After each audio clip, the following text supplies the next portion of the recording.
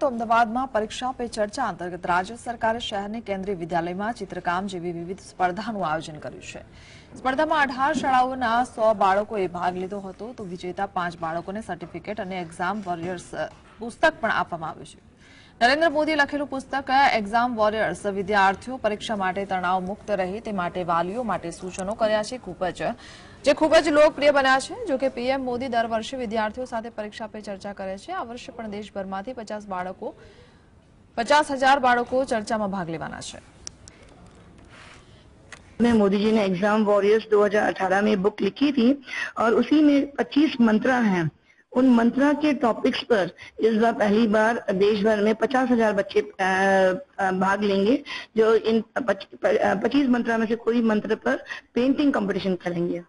तो हमारा पेंटिंग में भाग ले रहे हैं। हमारे स्कूल में 18 स्कूलों से बच्चे हैं और 100 बच्चे यहाँ प्र- प्रतियोगिता